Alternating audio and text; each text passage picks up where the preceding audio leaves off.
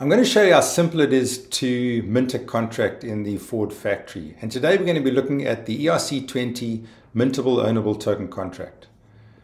To get started, head over to the Marketplace. And in the Marketplace, you'll find all the templates that are available in Forward Factory.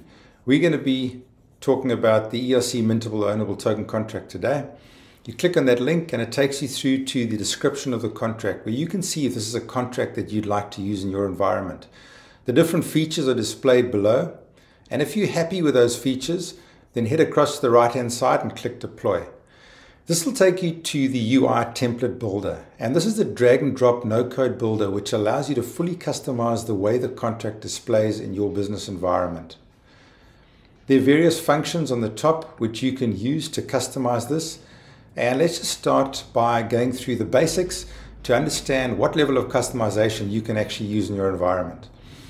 You can insert links, quotes, you can insert text sections, you can change the column layouts, the different font layouts, you can add images, you can add videos, nav bars, countdowns, and then there are also various levels of contract integration that you can use in this contract.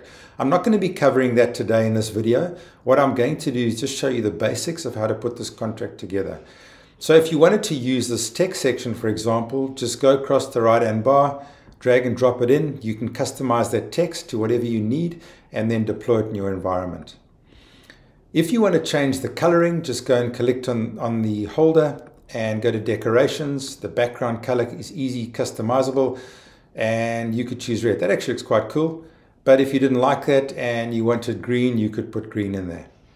So let's go ahead and assume that we like this and let's just save this template. Now what we're going to do is to edit the template and give it a name, give it an icon, and give it a description. So the person actually utilizing this template understands what you're trying to achieve and that they've got the right template. So the name that we're going to choose is the Mitch Mintable Ownable Contract.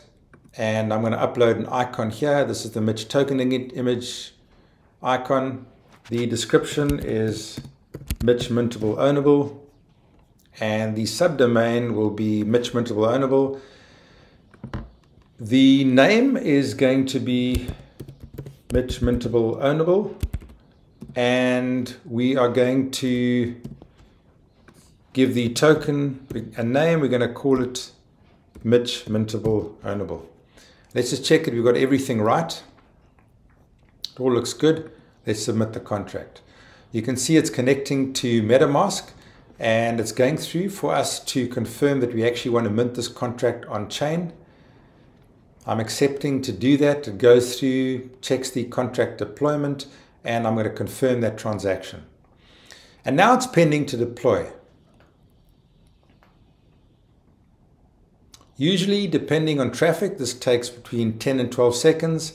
Some days it's a bit longer, but you can see that the contract's actually been deployed and the application is deployed live. And now if I come across to my applications, I can see that in my applications, I've got the Mitch Mintable Ownable contract and it's ready to deploy. In the next video, what I'm going to do is I'm going to show you how to use this contract and how you can mint tokens and how you can transfer tokens to a third party. See you in the next video.